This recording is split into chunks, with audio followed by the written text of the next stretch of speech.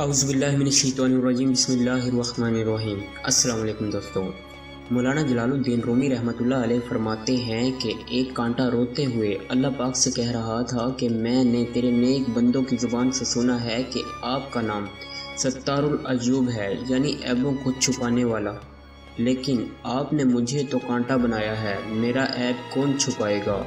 मौलाना रूमी रहमतुल्लाह अलैह फरमाते हैं कि इसकी ज़ुबान हाल की दुआ पर अल्लाह ताला ने इसके ऊपर फूल की पंखुड़ी पैदा कर दी, ताकि वह फूल के दामन में अपना मुँह छुपा ले।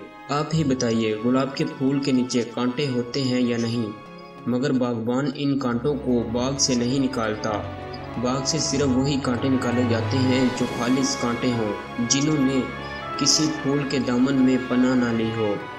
इसी तरह जो लोग अल्लाह वालों से नहीं जुड़ते, इनके लिए तो ख़तरा है, लेकिन जो गुनागार अल्लाह वालों के दामन से जुड़ जाते हैं, इनकी बरकत से एक दिन वो भी अल्लाह वाले बन जाएँगे।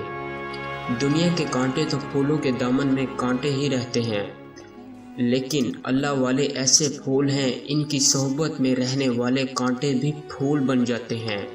सुबह अल्लाह दोस्तों, आपसे गुजारिश है कि इस चैनल को सब्सक्राइब कीजिए, वीडियो को लाइक कीजिए। अल्लाह हाफिज़।